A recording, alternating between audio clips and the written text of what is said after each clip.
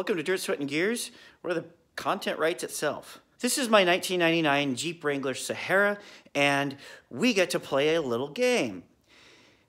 If you have an old car, you're very familiar with this game. And if you're an idiot like me who has six old cars, then you've played this game a thousand times. That game, of course, is called What the Hell is That Noise? So, we are going to open up the hood on my Jeep Wrangler and find out what the hell is that noise? So before I get into this, let's talk about what this stupid noise is. Something is going on inside the rotating assembly. This happens off and on. Sometimes it goes away for quite a while and I can just go back to pretending it never happened. Uh, if you own old cars, you know how that goes. Um, but uh, this is getting to a point where it's happening more and more frequently. Uh, I think it has a little bit to do with the cold. So let's talk a little bit about what it isn't. I'm fairly certain it is not the water pump, it is not the tensioner, and it is not the idler because I replaced all of those things when I replaced the water pump last year. Last year? I think it was last year. So that leaves it, unfortunately, to possibly very expensive things. It could be alternator, it could be power steering pump, it could be uh, air conditioning. So let's open up the hood, take the serpentine belt off, and uh, start spinning things. Before I remove the serpentine belt, let's take a look at this and form a hypothesis. The tension on the belt is okay. Uh, I think that's about where it should be. Um, and I'm going to guess, I'm going to make a prediction. I'm going to guess it's probably not power steering because when I turn the wheels, it doesn't the noise doesn't change. It doesn't make more or less. Uh, but we're going to check the fluid anyway before I take this belt off. I highly doubt it's uh, the steering pump. It could be the uh, air conditioning because uh, the AC doesn't blow cold. I don't know if that's because uh, the AC system isn't charged correctly, either it has too much or too little pressure, uh, or if it's because the compressor is failing. Uh, that is certainly a possibility. Um, and that'll be pretty easy to check. If this, if I take this belt off and it makes noise when I spin it, it's probably a problem. Uh, lastly is going to be the alternator. Uh, if the alternator is bad, I, I just, I don't think I don't think that the alternator is bad. Um, I suspect it's uh, air conditioning. Um, another reason why I think it's air conditioning is because when I turn it on, the idle doesn't change. Uh, so I think the clutch isn't engaging, and that could be the culprit here. Uh, so if this is the problem, I'm just going to try to find a serpentine belt that bypasses it uh, over at uh, the local parts store and just bypass it for now because I need to discharge this system, uh, first of all, before I want to fix it, but also uh, because I need to replace the heater core. Uh, the heater core, as you can see here, is completely bypassed um, because it's clogged up and it needs to be replaced. It's been like that for a while. I've just um, been putting it off. You know, just wear a jacket when I drive. However, if I need to replace the air conditioning compressor or do any kind of work to the AC system, uh, that's a really good time to get on that. Okay, after spending half an hour looking for a uh, 15 millimeter wrench, uh, I did not actually find my wrench. Uh, I found my socket though, and I was able to fit it on here to uh, release the tensioner pulley.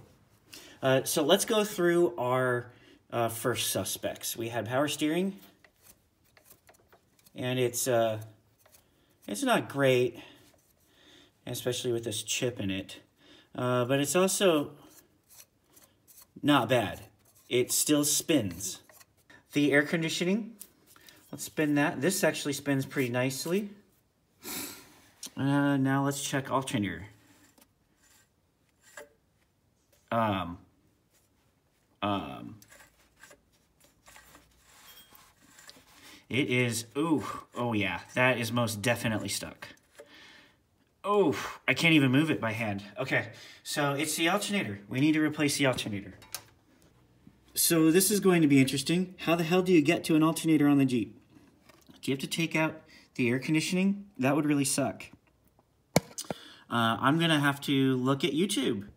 Um, somebody, I'm sure, has done a technical how-to on replacing alternators. I'm going to check the YouTubes. I'm going to uh, source a new alt, and um, we will get to work. And hopefully I can get this thing back on the road this weekend because I need it. I need it to haul stuff for my house. I have a lot of house projects, and I need to get this thing back on the road so that I can haul materials. Okay, well, the how-to videos that I watched all talked about just navigating the alternator around the bracket to uh, remove the old one and put the new one in. I discovered that removing the bracket was my salvation. Getting the new alternator in was a lot more difficult because you had to to get the old one out, you have to twist it and roll it and turn it in a very specific way that just wasn't I couldn't remember when I was putting the new one in. Uh, but I discovered that by removing the bracket uh, was actually my salvation because I was able to move it around uh, enough to, uh, you know, if I needed to rotate it, if I needed to turn it, it was not a problem.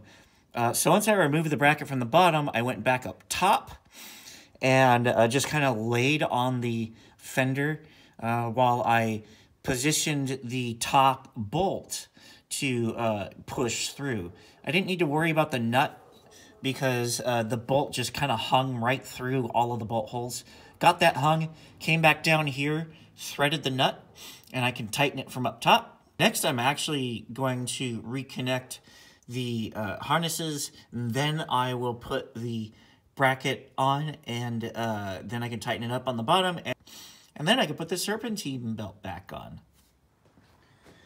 I got the new alternator in, brackets on, everything's bolted down, tightened up. I got the tensioner tightened up. Uh, I might want to tighten it up just a little bit more, but it's okay, I think. Um, so far, so good. Let's start this up and give it a shot. This is actually probably pretty good for serpentine belt. Let's start this up and try. So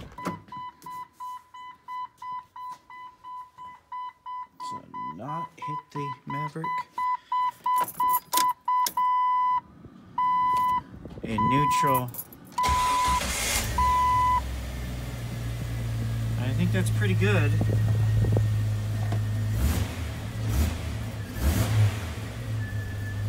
Yeah, I'm gonna call that good.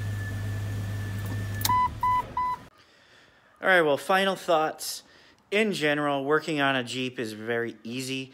Things are kind of big, things are kind of heavy, especially when you compare it to the likes of a Miata. However, uh, the Jeep is pretty much as basic as a Miata, uh, just a little bit bigger, a little bit heavier.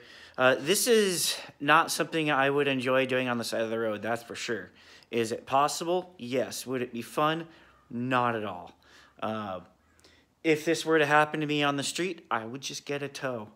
Um, but that's just me. And even when I was underneath it, I really wish I had a lift. Uh, that way I didn't have to work on the ground on my back. Uh, but that's what I've got to work with so far. And um, I was grateful that I didn't have to uh, put a jack under it. That's kind of cool. And really, this is why I like to have old cars because this was really simple to work on. You wouldn't you're you're not going to replace an alternator on a brand new BMW or even a Honda in the amount of time that I was able to fix it on this or even a new Jeep. Uh, this was very straightforward. Uh, and, you know, nobody wants old car problems, but old car solutions are generally a lot easier, a lot faster, and much, much, much cheaper than new car solutions because uh, solving problems on new cars, kind of a nightmare. I mean, really, find me a new car where you can replace an alternator, having never done it on that vehicle before, in an hour with basic tools on a weekend for 150 bucks find me a new car where that's possible. I don't think it's gonna. I don't think it exists. I really don't think that exists. But anyway, uh, that was it. That's all I've got for this week. Um, very simple repair on the Jeep. Uh, there's uh, a lot going on, so uh, stay tuned. I did this because I had to do it. Um, but we're going to get some different content coming up uh, in the next few months. Still going to be mostly cars, but I'm going to throw in a couple of house things as well, just because uh, this house stuff I got coming up is going to be all consuming. And uh, it'll actually be a lot of fun to take you on this journey. Thank you for watching.